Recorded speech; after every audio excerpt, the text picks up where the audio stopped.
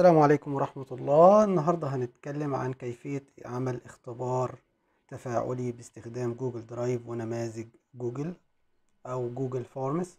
هنخش على ال account بتاعنا في الجوجل زي ما أنتم شايفين. ال username وال password. تمام؟ أهو. ويديك التأكيد. وبعدين بتخش على الجوجل درايف. ادي عندنا أهو جوجل درايف. من جوه جوجل درايف بنفتح حاجة اسمها نماذج جوجل. هندور عليها نشوف على علامة الزائد هنا ونخش على نماذج جوجل. هي ديت النماذج اللي هنعمل عن طريقها الاختبار. بيكون اختبار تفاعلي تماما بشكل كامل للأولاد يقدروا يكتبوا وتروح الإجابات لهم أوتوماتيك كمان إن شاء الله. هنشوف دلوقتي هنخش على علامة الترس ونختار اختبارات. تمام؟ وبعدين نقول جعل هذا اختبار. يعني أنا بقول إن ده اختبار بحدد عشان يديني النماذج المتعلقة بالاختبار. تمام؟ هنا بيقول إصدار الدرجة بيقول إصدار درجة مباشرة. أنا طبعا مش عايز الطالب يشوف درجته بشكل مباشر لازم يروح الأول للمراجعة اليدوية للمعلم وبعدين يرسل الدرجات بشكل كامل. ليه؟ لأن أولا الطالب ممكن يقول الإجابة لغيره لو جات له الإجابة بشكل مباشر. ثانيا كمان ممكن يكون في نوع من الإجابات بتحتاج إن المعلم يبص عليها بنفسه. وبعدين هنا بنشيل الأسئلة غير الصائبة إن هو ما بيشوفش الأسئلة غير الصائبة وما بيشوفش الإجابات الصحيحة وبنخلي بس قيم النقاط. يعني بنحط النقاط بتاعت كل سؤال. هنخش هنا هو أول حاجة أول سؤال هنلاقي عنوان البريد الإلكتروني ده بنخليه تمام؟ وبعدين هنضيف سؤال كمان. هنخش هنا على علامة الزائد اللي موجودة على اليسار. ونعمل إضافة سؤال. السؤال التاني هيكون مثلا اسم الطالب. يبقى دول أول حاجتين بطلبهم إن هو يكتب لي البريد الإلكتروني والاسم وبنختار نوعه إجابة قصيرة. نختار نوع الإجابة إجابة قصيرة عشان هيكتب بس فيها اسمه. وبعدين بنعمل علامة مطلوب عشان مش هينفع يتغاضى عنها لازم يكتبها بعدين بنخش في اللي بعدها القسم الجديد. أهو. القسم الجديد هنا هوت. هنكتب السؤال الأول. نكتب هنا مثلا السؤال. اختار الإجابة الصحيحة فيما يلي. ونشوف هنا هو ده معنى كده إن يبقى السؤال اختياري. يبقى هنكتب هنا أول حاجة السؤال. نكتب هنا هو سؤال واحد. واحد مثلا. أدي أول سؤال هن في ال section هنا أو في القسم دوت.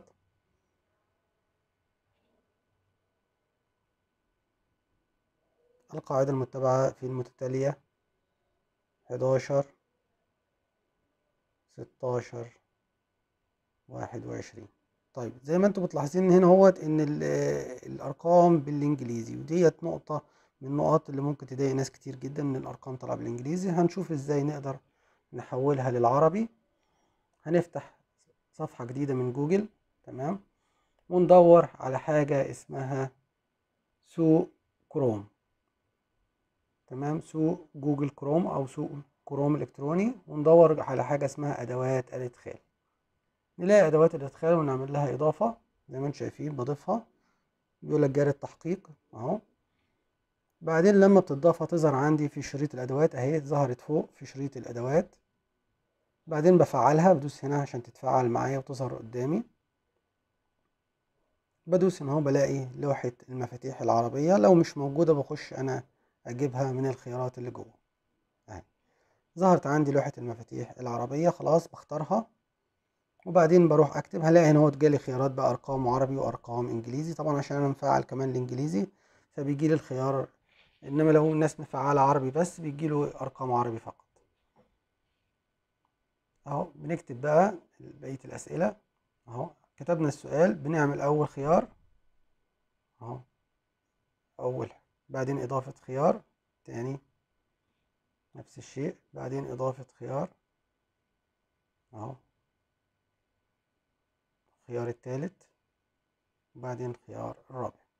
يبقى كده هنا هو أربع خيارات للسؤال الأول اللي هي واحد من السؤال الأول لأن السؤال الأول ممكن يكون فيه واحد واثنين وثلاثة.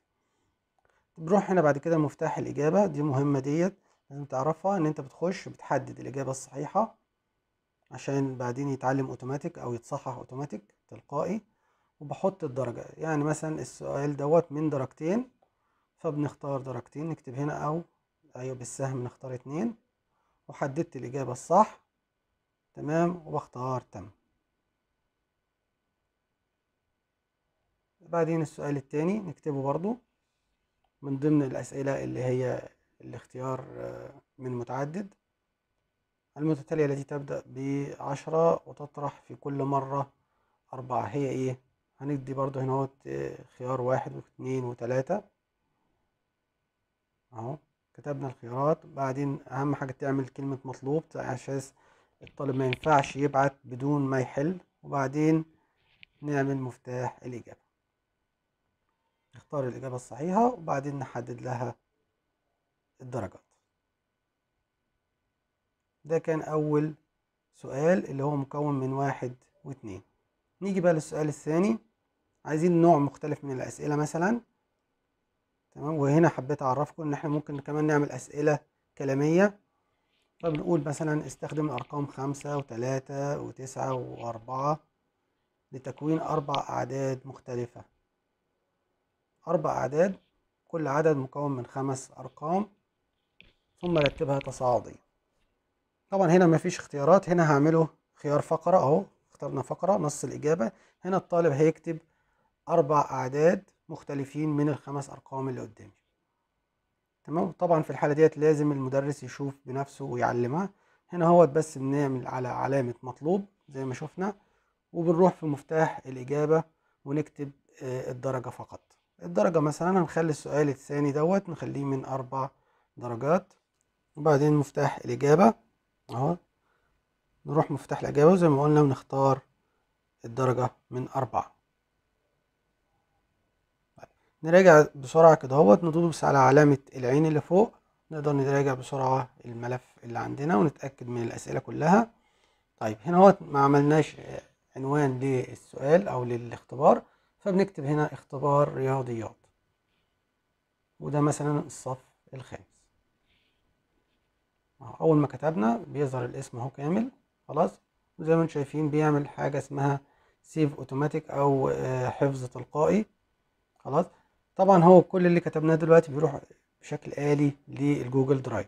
طيب بنعمل دلوقتي إرسال وهنرسل عن طريق ال link أو الرابط. أدي الرابط عندنا كبير قوي هنعمل حاجة اسمها تقصير الرابط عشان يبقى قصير شوية وناخده copy خلاص كده أنا خدت كده الرابط. أقدر أروح عندي في الفصل واحطه ادي أهوت الاختبار موجود عندي في جوجل درايف. أهو أقدر أفتحه في أي وقت واشوفه واطلع عليه. طيب دلوقتي المدرس هيعمل إيه؟ المدرس هيخش للفصل بتاعه ويروح يشوف الطلبة ويبعت لهم الأسئلة. أهو دخلنا على ال Classroom اللي هي المنصة التعليمية بتاعت جوجل. أدي عندي الصف الخامس بخش على الواجب الدراسي. وبعمل إنشاء وبعمل تكليف أو اختبار حسب الخيار اللي عندك. وبكتب هنا هوت عنوان للاختبار مثلا ده اختبار رياضيات. ممكن هنا أكتب أي ملحوظة وبعدين أحط الرابط تحت أهو إضافة رابط. وهنا بعمل لصق للرابط اللي أنا خدته وبعمل إضافة. تمام. كده يبقى اتضاف الاختبار. هنا بحدد عدد النقاط أو الدرجات اللي هياخدها. إحنا قلنا من تمانية. تلات أسئلة من تمن درجات. وهنا بقدر أحدد وقت تسليم الاختبار. ممكن أخليه في نفس اليوم زي ما أنتم شايفين في نفس اليوم. واختار كمان الوقت بالظبط يكون مثلا خلال ساعة يعني الساعة مثلا لو عندي اتناشر ممكن أقول الساعة واحدة كله يسلم. تمام؟ أهو بنختار أي وقت. تمام؟ وبعدين بعمل تعيين يعني معناها ارسل خلاص الاختبار. كده خلاص تم الإرسال. أهو طالب من الطلبة دلوقتي بيشوف ال Classroom بتاعه الصف بيروح للواجب المدرسي أو ال Classwork تمام؟ بيخش على هيلاقي اختبار رياضيات بيخش على اختبار رياضيات. هتفتح معاه نماذج جوجل. ادي الاختبار اهو. لازم يكتب البريد الإلكتروني بتاعه. بيكتب البريد بالكامل بشكل صحيح. وبعدين يكتب اسمه. تمام؟ وبعدين التالي. يبدأ بقى في حل الأسئلة. أدي السؤال الأول زي ما أنتم شايفين من نقطتين أو من درجتين. السؤال التاني نفس الكلام من درجتين. وبعدين بيعمل تالي. تمام؟ بيخش للصفحة اللي بعدها. بيبدأ هنا هو يجاوب هنا هو يدويا لأنه مطلوب منه إنه يكتب أربع أرقام. فبيكتب أدي أول رقم وبعدين تاني رقم تالت رقم ورابع رقم. طبعا السؤال ده لازم المدرس يصححه يدويا. ويديله الدرجة يدويا بعد ما بيخلص الطالب ويكتب الأرقام كاملة بيعمل إرسال. كده هوت الطالب خلاص أرسل لقد تم إرسال ردك. بيروح المدرس يلاقي في نماذج جوجل أو في جوجل درايف هيفتح هناك النموذج أهو بتاع الاختبار ويشوف الردود. هيلاقي إن في ردود جات له أربع ردود يعني في أربع طلاب حلوا وبعتوا حلهم. آدي إحصائية كاملة للحلول. تمام؟ آدي ملخص هنا أهوت. بيقول لك إن المتوسط اتنين ونص من تمانية. طبعا ده بدون السؤال اللي من أربع درجات الأخير لأن السؤال الأربع درجات ده بيصححه يدويا. أهو آدي النتائج. بيقول لك كمان درجة كل طالب. تمام؟ وبيقول لك إن لم يتم إصدار النتيجة بعد. طبعا لأن زي ما قلنا في سؤال يدوي لازم المدرس يشوفه وأدي أسماء الطلبة. وهنا مثلا السؤال دوت بيقول لك إن في تلات إجابات صحيحة من أربعة. يعني في تلات طلبة جاوبوا بشكل صحيح من أربعة. أهو إحصائية كاملة متكاملة عن كل شيء وعن كل سؤال. السؤال التاني بيقولك إن في اتنين طلبة جاوبوا صح. أهو اتنين من أربعة. ونيجي بقى للسؤال التالت اللي إحنا قلنا بيتصحح يدويا من المعلم. لازم المعلم يشوف كل إجابة طالب وبعدين يديله الدرجة. أهو بنخش هنا في قائمة التانية اللي هي قائمة السؤال أو قائمة الأسئلة. هنا برضو بيقدر يطلع.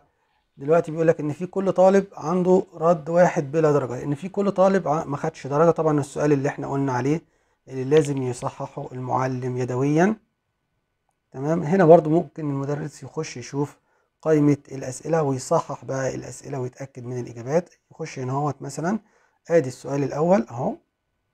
يخش يشوفه. هيلاقيه طبعا متصحح تلقائيا عشان إحنا كنا عاملين حاجة اسمها آه الإجابة. كنا إحنا كاتبين الإجابة ومحددينها. وهنا السؤال التاني نفس الشيء. ونروح السؤال التالت. هنلاقي إن السؤال التالت هو اللي محتاج لسه يتصحح. أهو. وزي ما أنت شايف من أربعة من أربع درجات. فبيقدر يشوف الإجابة وبعدين يكتب الدرجة. مثلا الطالب ده ياخد تلاتة الطالب التاني هياخد تلاتة والطالب ده مثلا ياخد أربعة من أربعة والطالب اللي بعده ياخد مثلا أربعة من أربعة. كده خلاص أنا خلصت كل الأسئلة وبصيت عليهم كلهم. أقدر أعمل حفظ. خلاص كده حفظت يبقى كده تم تصحيح كامل الاختبار. كده خلاص بيقولك إجمالي النقاط فوق أهو مكتوب تمن نقاط. أقدر أخش بقى على الإكسل شيت دوت وأعمل حاجة اسمها إنشاء جدول بيانات. هنا إنشاء جدول بيانات بيديني إحصائية كاملة عن إجابات الطلبة ودرجاتهم وكل شيء متعلق بهذا الاختبار.